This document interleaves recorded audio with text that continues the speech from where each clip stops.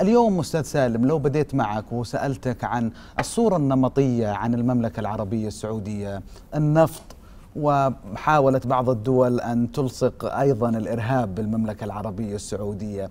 اليوم في هذه الزيارة هناك جانب استثماري وهناك أيضا جانب ثقافي وهناك أيضا يعني جانب سياسي بالتأكيد. كيف يمكن لهذه الزيارة أن تغير من الصورة النمطية ولا سيما حديث الأمير محمد بن سلمان ولي العهد للإعلام الأمريكي وتحدث بشفافية وبوضوح وخاطب بسم الله الرأي العام الأمريكي. بسم الله الرحمن الرحيم. أحييك أخي ياسر وأحيي السيدات.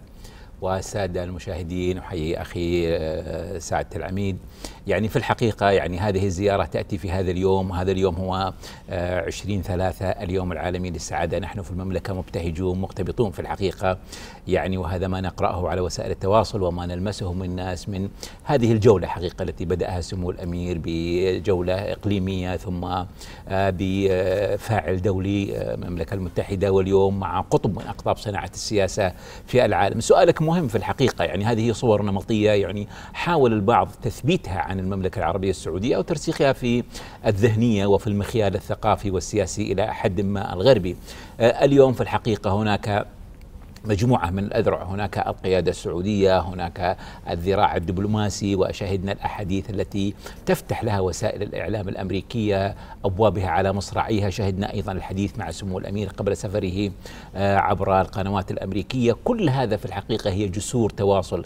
أنا في زعمي أن جسور هذه التواصل فعالية هذه الجسور تنبع من أكثر من نقطة ولعل من أبرز النقاط هو درجة التفاعل الموجودة حاليا يعني في طرفي العلاقات السعودية الأمريكية ودرجة التناغم في الأهداف في الرؤى استراتيجيا إقليميا وحتى بين الشريكين الكبيرين المملكة العربية السعودية في موقعها وفي محيطها الإقليمي وبأبعادها الاقتصادية والثقافية والروحية والولايات المتحدة الأمريكية كقطب لاعب للسياسة. اليوم حقيقة كل الصور النمطية في زعمي أن الدبلوماسية السعودية الحضور السياسي السعودي عبر الإعلام عبر المشرعين في في المؤسسات الأمريكية عبر الإعلام الأمريكي عبر لقاء القيادة واللقاء سيتم اليوم كل هذا حقيقة يبدد كثير من الصور.